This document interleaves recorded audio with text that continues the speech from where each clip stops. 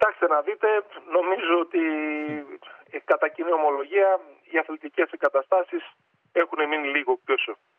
Αυτό οφείλεται σε συγκεκριμένες ε, αιτίες, οι οποίες δεν είναι επί της παρούσης να τις αναλύσουμε, άλλωστε ανήκουν στο παρελθόν. Το θέμα είναι τι κάνουμε από εδώ και πέρα. Γιατί το παρελθόν δεν γυρίζει, δεν μπορούμε να γυρίσουμε πίσω τον χρόνο. Ε, μια που αναφέρατε το Ανθή Καραγιάννη, Ναι. ε, θα σας ε, αναφέρω κάποια, κάποιες εξελίξεις που έχουμε, όπως κάποια, κάποιες προγραμματισμένες εργασίες που πρόκειται να γίνουν. Ήδη από την προηγούμενη χρονιά και με την απερχόμενη διοίκηση της περιφέρειας, του κυρίου Μέτσιου, ο Δήμος Καβάλας έχει εξασφαλίσει ένα ποσό γύρω στους 70.000 για τεχνικές βελτιώσεις ε, εντός του, του γηπέδου του Ανθή Καραγιάννη.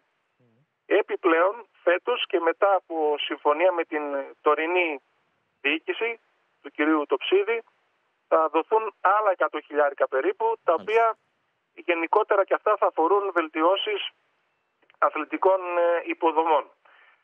Παράλληλα και από την αρχή της έναρξης της θητείας μας, Και όλα αυτά, με συγχωρείτε κύριε Δήμαρχε, θα πάνε στο Καραγιάννη από. όχι, όχι. Τα, τα 70 χιλιάρικα θα πάρουν καθαρά στο, στο Καραγιάννη. Μάλιστα. Τα 100 χιλιάρικα, ένα μέρος θα πάει, θα πάει και αυτό στο Καραγιάννη. Ένα μέρος, μάλιστα. Ναι, ναι. Ένα μέρος. Λοιπόν, ε, παράλληλα έχει ξεκινήσει μια προσπάθεια αναζήτησης χρηματοδοτικών μέσων για ουσιαστικές παρεμβάσεις, διότι τα εδία κεφάλαια που μπορεί να διαθέσει ο Δήμος μας στην παρούσα φάση είναι λίγα. Σε σχέση δηλαδή με τα νούμερα που απαιτούνται ε, για να γίνει κάτι ουσιαστικό. Ε, και σας ενημερώνω ότι τώρα που μιλάμε ο Δήμαρχος βρίσκεται ε, στην Αθήνα για σειρά επαφών, μεταξύ των οποίων θα είναι και μία συνάντηση με τον Διευθυντή του Γραφείου του Υπουργού Αθλητισμού, τον κύριο Βρούτσι, όπου θα ξεκινήσει μια κουβέντα για τη χρηματοδότηση παρεμβάσεων στο Ανθή Καραγιάννη.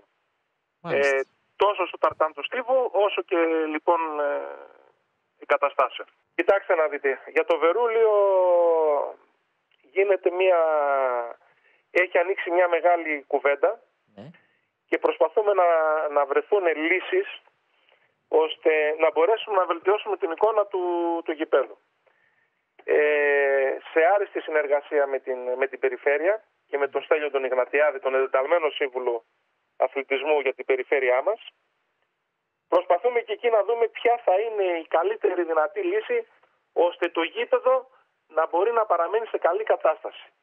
Σίγουρα αυτό που οφείλω να πω είναι ότι ε, σε αυτό το γήπεδο φιλοξενούνται τρεις ομάδες και φιλοξενούνται τρεις ομάδες με τις ακαδημίες τους. Μάλιστα σε μία από τις τρεις ακαδημίες παίζει και ο δικός μου γιος, έτσι. Ε, μάλιστα. Ναι. Μπράβο, μπράβο. Μιλάμε για σχεδόν 500 παιδάκια τα οποία γυμνάζονται τρεις φορές τουλάχιστον ε, την εβδομάδα.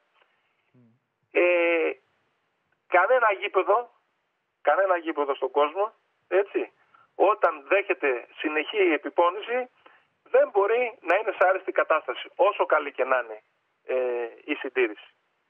Οι λύσεις είναι ε, συγκεκριμένες.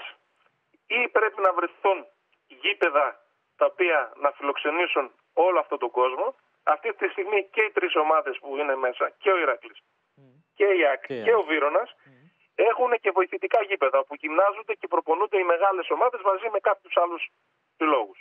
Έτσι.